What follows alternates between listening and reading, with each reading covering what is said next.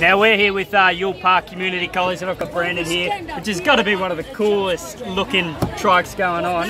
Tell us about this this job, this design job you've done here, Brandon. So this design, we got uh, all these stickers off the internet and individually laid every single one.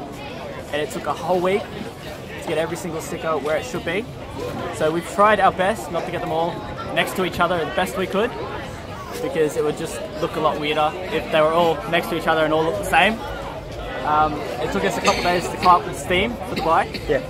because finding the theme is the hardest part, as usual. And what, what is the theme? It is the undead theme. The undead. Well, it's fantastic work. You're about to go test it out, and I think the key message here is don't don't put any scratches on it. Pretty much. well done. Good luck, guys. Good luck. Thank you.